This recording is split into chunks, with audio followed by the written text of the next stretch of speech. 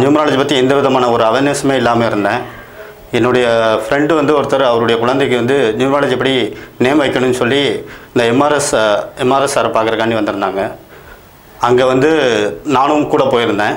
அப்போ வந்து அவங்க வந்து அந்த நியூமாலஜி பற்றி விளக்கங்கள் கொடுத்தது வந்து உண்மையாகவே ரொம்ப பெனிஃபிஷியலாக இருந்தது. அவங்க கொடுத்த ஒவ்வொரு விளக்கமும் எனக்கு புதுமையாக இருந்தது. ஏன்னா நியூமாலஜி பற்றி தெரியாது எனக்கு.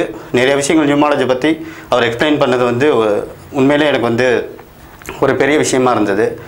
குழந்தையுடைய வளர்ச்சிக்கும் ஒரு வாழ்நாள் முழுவதும் அந்த குழந்தையோட வளர்ச்சிக்கு எப்படி இருக்குன்றது அவர் வந்து சொன்ன விதங்கள் வந்து எனக்கு ரொம்ப புதுமையாக இருந்தது. நியூமராலஜி பற்றி தெரியாது. எனக்கு இப்போ நியூ நியூமராலஜி மேலே ஒரு பெரிய ஒரு அஃபெக்ஷன் வந்திருக்கு. ஸோ இதுபடி பேர் வச்சா எல்லாமே நல்லா இருக்கும்.